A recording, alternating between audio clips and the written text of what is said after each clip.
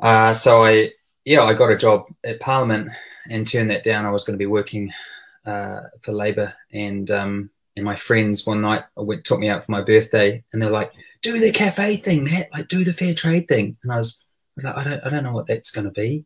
I didn't even have the name. I didn't have any anything. I was just a barista, and so I turned down the job and went back to working as a barista, much to my parents' chagrin, turning down a, uh, Uh, a forty thousand dollars salary after four years of studying. So yeah, it all began with a lot of risk and a lot of yeah, gumption, didn't a it? lot of, a lot of chutzpah. Chutzpah. Chutzpah.